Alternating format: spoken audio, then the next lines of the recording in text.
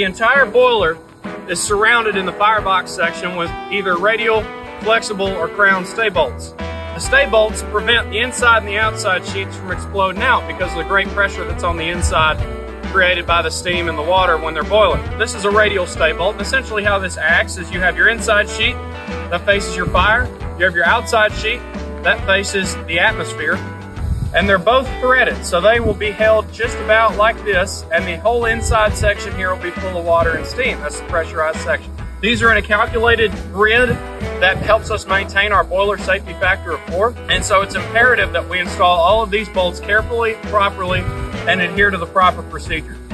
We're going to start with our one inch 12 thread stay bolt tap and reamer. This section right here is reamer, this section is tap. It begins widening the hole to account for the inside and the outside holes misalignment. So we will start our tap in. It starts inside the outside sheet first, and then the guide starts into the inside sheet. As we turn, it'll widen the holes out and align them. If the holes are drilled at different angles because we replace the inside and the outside sheets separately, this will help account for that misalignment and it will also install threads in the hole simultaneously. The tap will be passed all the way through be passed back out the bottom. We will clean and inspect the hole, and then we will be ready to install our radial stay bolt.